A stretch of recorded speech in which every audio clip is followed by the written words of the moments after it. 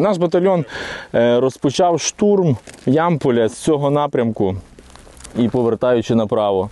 Тобто я в числі з командиром батальйону особисто розміновували це перехрестя. Це був їхній блокпост. Ну, на даний час, коли ми вже е, заходили для розмінування, його вже, їх вже тут не було. Нам віддали наказ е, зайти на Ямпіль задля звільнення мирного населення. Відібрали людей, тих, які погодились відразу. Там буквально кілометр 200 ми вже заходили в лісопосадку. Там був розбитий БТР, ми там визначили точку 2. на- І на якій відбувався евакуація і трьохсотих, і тобто підтягування ресурсів наших. Все, що нам потрібно було, ми взяли все з собою, взяли на себе, під'їхали якомога ближче, решта взяли на плечі і понесли, і пішли.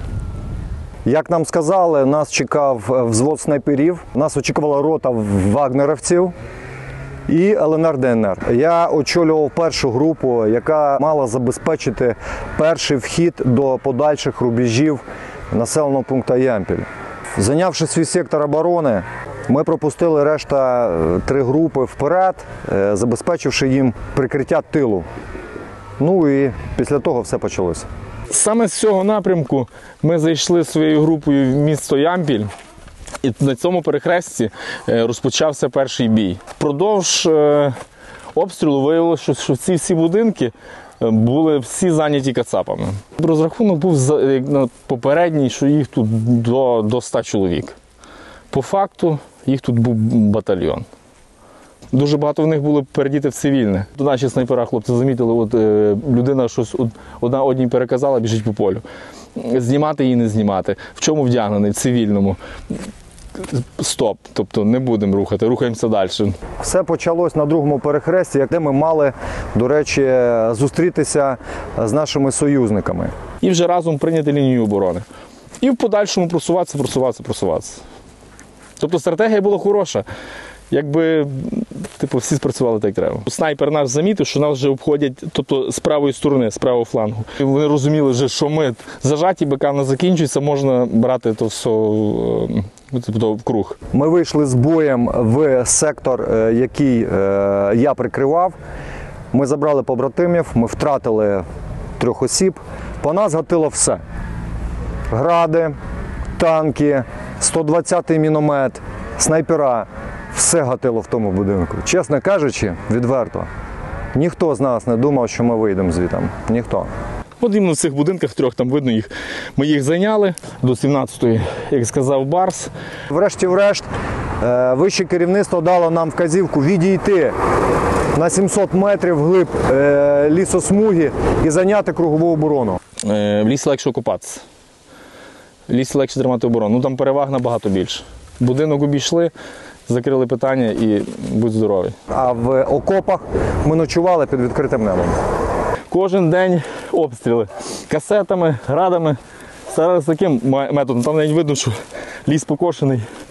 На другий день е, підійшов резерв, вони зайняли нашу оборону в лісі, а ми трішки пішли е, в тил перезарядити батарейки, скажімо так, відпочити. І вже на третій день ми знов зайшли в цю лісосмугу, де стояв наш резерв, підготувалися і пішли далі знов в Ямпіль. Теж стикнулася така мінімальна була стичка стрілкова. Там і ГГС випробували, тобто теж роботу зробили. Ми зайняли першу точку оборони, вийшли в ефір і сказали вищому керівництву, що ми зайняли, ми тут знаходимося, але знов нікого немає. Ну що, командир нам наказав знов відійти в ліс.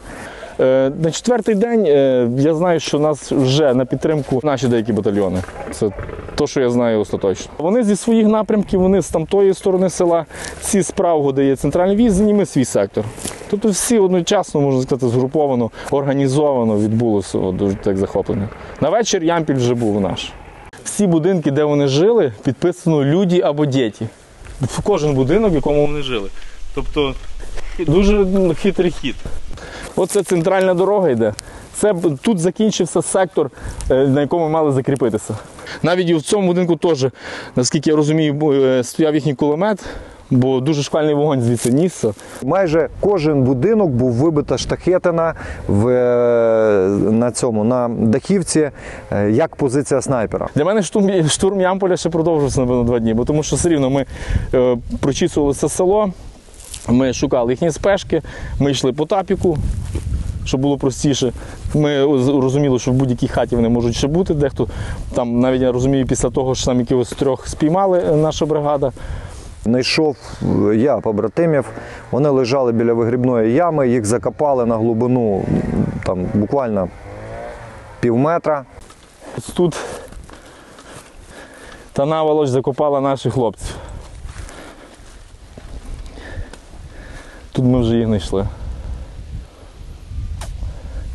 Так от діти, власне, діти нас зустрічали дуже радо. Дуже радо. Вони невміло говорили українською, але намагалися. Вони дякували. Дехто з них показував ось такий знак, типу, ну це серце тайло. Я думаю, блін, от для того ми і робимо ту роботу. Оце, напевно, і відкладається в душі у солдата. Це я і запам'ятаю, напевно, на все своє життя. Та як в мене самого є дитина, і це для мене ну, найперше, заради кого я тут зараз і повернусь додому обов'язково. До війни е, я працював майже 7 років далекобійником. Я перед тим був менеджером організацій, е, потім займався побутовою е, хімією українського виробництва, до речі. Я думаю, що вернусь сюди, продовжу. У мене в тому напрямку досить непогано вийшло. Так що треба розвивати український, український бізнес. Наразі планую залишитись в армії, лишитись в історії для своєї сім'ї, напевно, значущим звином. Я вважаю так.